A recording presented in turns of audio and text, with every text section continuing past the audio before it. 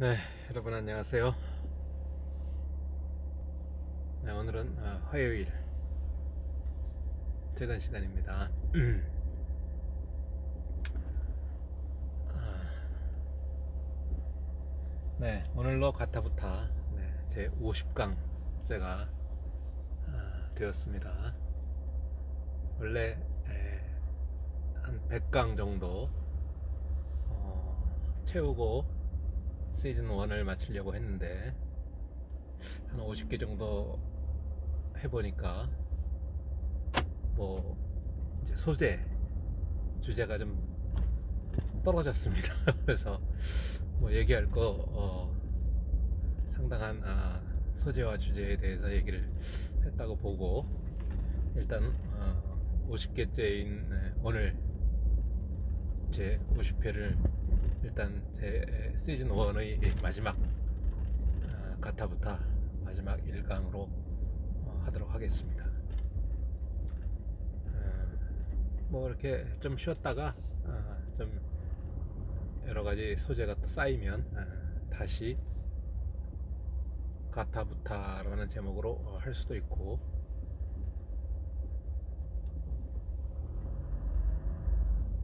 무슨 뭐 어, 따따부따로 할 수도 있고 뭐 이렇게 뭐 일단 뭐 어, 가타부타 시즌 2로 한다고 일단 저 가칭 정해놓겠습니다.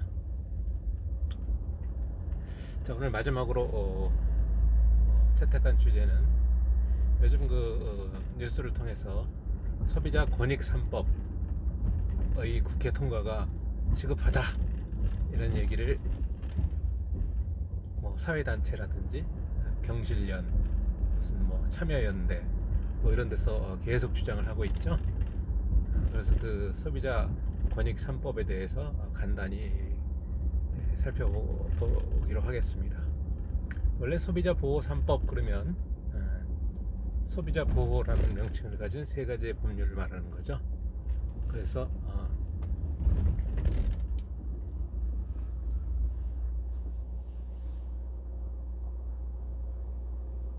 그래서 할부 할부 거래에 있어서의 소비자 보호에 관한 법률, 그다음에 방문 판매 등에 있어서의 소비자 보호에 관한 법률, 전자상 거래 등에 있어서의 소비자 보호에 관한 법률 이런 것들을 소비자 보호 3법이라고 불렀는데 지금 이 사회 단체에서 얘기하는 소비자 보호 3법 또는 소비자 권익 3법 또는 소비자 3법 이것은 그 법률을 얘기하는 게 아니라 꼭 통과되어야 하는 어, 소비자를 위한 아, 아주 좋은 제도를 가리켜서 소비자 보호 3법이라고 부르는 겁니다. 3법. 조금 그 좀 어, 표현이 조금 그 이상한데 어쨌든 소비자 권익 3법은 그 이제 세 가지 제도를 말하는 건데 뭐냐면은 그 지난번에도 얘기했죠 단체 소송할 때 언급을 했지만 집단 소송 제도가 어, 입법이 되어야 된다라는 거. 집단 소송 제도. 단체 소송은 요건이 너무 복잡하잖아요. 그래서 집단 소송 제도 피해자 50명만 명만 되면 어, 집단으로 소송을 제기할 수 있는 어, 집단의 대표가 소송을 제기하는 거죠. 현재는 그, 그, 그 증권 관련 소송에만 집단 소송 제도가 입법이 되어 있습니다. 네, 대부분의 에, 소비자 피해에 대해서 집단 소송 제도를 도입하자라고 하는 것이 이제 집단 소송제 입법을 주장하는 내용이고요. 또 하나는 어, 징벌적 손해배상제도입니다. 징벌적 손해배상제도, 어, 삼배배상제도를 기본 기본으로 해서 어, 수많은 법률에 에, 집단 저, 뭐, 징벌적 손해배상제도가 입법이 되어 있죠. 어, 하도급 업법이라든지 또는 뭐 독점규제법에도 어, 입법이 되어 있고요. 아이씨.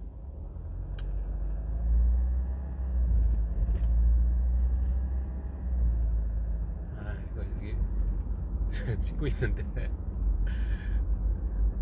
막 그냥 택시들이 그냥 막 서 있다가 갑자기 끼어들고 아 참을 수가 없습니다 운전하다가 보면 여, 여기 나옵니다 징벌적 손해배상제도 그래서 어, 무슨 뭐 정보통신망법에도 있고요. 어, 많은 법률에 예, 예. 증벌적 손해배상제도 원래 손해배상이라고 하는 것은 손해를 본 만큼 배상해주면 되는 거죠. 내가 어떤 손해를 예, 입었다, 당했다고 할 때 100만 원의 손해를 당했으면 100만 원을 가해자로부터 어, 받으면 되는 거죠. 원래는. 그런데 이게 이제 기업체인 경우에는 기업체의 평소에 어떤 그 어, 주의가 태만해 가지고 많은 소비자들에게 에, 피해를 입혔으니까 그냥 손해 본 만큼 배상하게 하는 게 아니라 그 마치 그 징벌을 받는 듯한 그런 분량의 큰 액수로 손해를 배상해라 라고 하는 게 징벌적 손해배상 제도죠. 그래서 어, 기업체가 다시는 어, 그런 어, 불- 불법 행위를 하지 않도록 그렇게 제도화시켜서 어, 도입하고자 하는 것이 징벌적 손해배상 제도입니다. 근데 우리나라는 꼭그 삼배배상 제도로만 되어 있는데 어, 미국의 클레이튼 액트라고 클레이튼법이 이제 삼배배상 제도를 최초로 도입을 했기 때문에 자꾸 그걸 흉내를 내는 건데 그럴 필요 없죠. 5배 배상이라든지 뭐 아니면 상한선 없는 징벌적 손해배상 제도가 되어야 어, 효과가 있, 있을 겁니다. 자, 징벌적 손해배상 제도 두 번째죠. 세 번째는 증거 개시 제도입니다. 이것은 영어로 우리가 디스커버리 제도라고 보통 많이 부르던 건데 자, 예를 들면 어, 소비자의 권리를 침해한 여러 가지 사건 예를 들면 어, 그 유명했던 가습기 살균제 사건으로 수, 수백 명이 죽었죠. 어, 그 사망한 사람의 숫자는 아직도 정확히 밝혀지지 않았는데 자, 그런 경우에 그 관련 그 뭔가의 불법 행위를 했던 관련 증거는 소비자가 입수할 수가 없죠. 소비자가 입수할 수가 없고 전부 그 관련 기업체에서 다 가지고 있습니다. 그러면 그 기업체 보고 그 증거를 내놔라 다 관련 증거를 내놓으라 그러면 내놓을 리가 있겠습니까? 안 내놓잖아요. 그래서 디스커버리 제도라는 것은 증거 개시 요청을 하면 증거를 내놔야 되는 그런 제도를 말합니다. 그래서 어, 증거 개시 요청권, 증거 개시 제도 이것도 반드시 예, 입법이 되어야 된다. 아, 그것이 이번에 소비자 권익 3법의 예, 내용 중 하나이다. 라는 거죠. 자, 그래서 이번에 예, 제 50번째로 시즌 1을 가타부타 시즌 1을 마감하면서 아, 마지막으로 어, 여러분과 함께 생각해 본 주제는 현재 사회단체에서 강력하게 입법을 주장하고 있는 어, 소비자 권익 3법 법률은 아닌데 희한하게 그렇게 부릅니다. 네.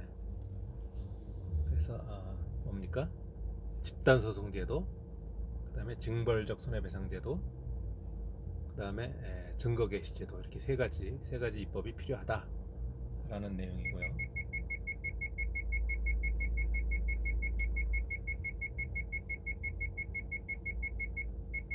특히 그 어, 징벌적 손해배상 제도는 아까도 얘기했지만 아, 여러 가지 법률에 이렇게 에, 흩어져서 입법이 되고 있는데 그렇게 하지 말고 이제 그 기업을 규제하고 있는 모법인 상법에다가 아예 에, 징벌적 손해배상 제도를 아예 에, 폭넓게 입법을 하자라는 겁니다. 그래서 이제 앞으로 더 이상 입법이 필요 없고 상법에 의해서 어, 모든 어, 징벌적 손해배상의 결정이 가능하도록 그렇게 하자는 거고 심지어는 어, 가짜 뉴스 같은 것도 어, 그런 가짜 뉴스를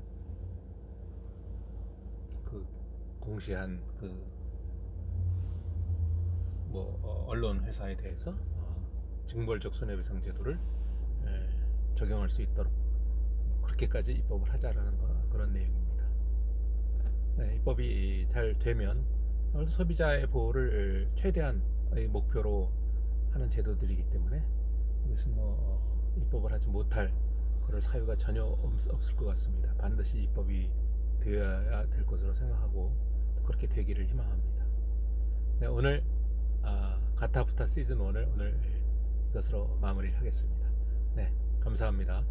네, 가타부타 시즌 2를 기대해 주세요. 네, 감사합니다.